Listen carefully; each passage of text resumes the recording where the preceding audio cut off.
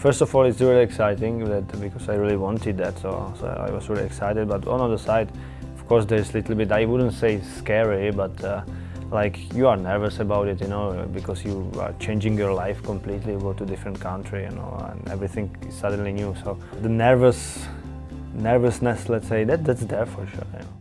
Tomas Rosicky, he absolutely totally ran the game. I think about 34, he, he was just sensational. cares, it means something to him. That's what Arsenal fans cannot kid football fans. They can see when players are giving it their all. But yeah, he's got that quality just going forward. I love the way Tomas just turns and breaks with it. You can tell Wenger loves him. You love football, you love Rosicky. You know how to give and how to take.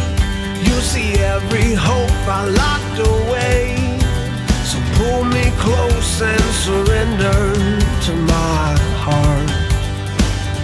Best thing about London is Arsenal.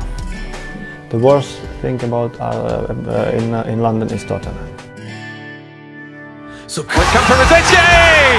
Who kept on running and got his reward! And that was Rosicky!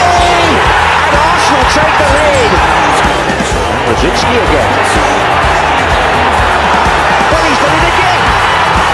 Took a deflection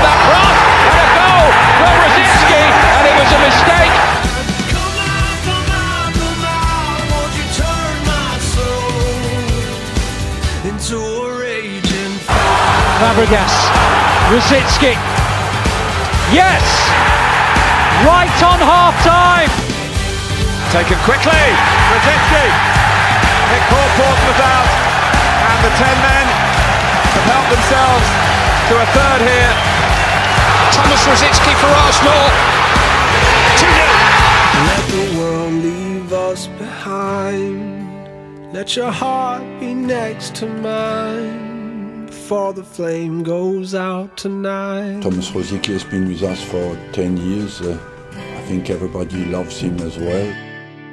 Since the moment I started to warm up there on the sidelines, that was that was exceptional. And uh, quite honestly, I have to say, I had, I had tears in my eyes.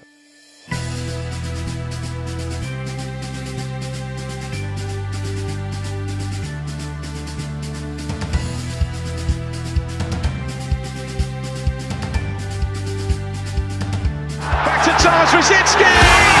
Special, special goal! Oxlade Chamberlain and run back to Rosicky! What a goal from Tomas Rosicky! Rosicky! My word, what a goal! Unbelievable effort by Rosicky. Arsenal double their lead. And he set up Rosicky! That's better.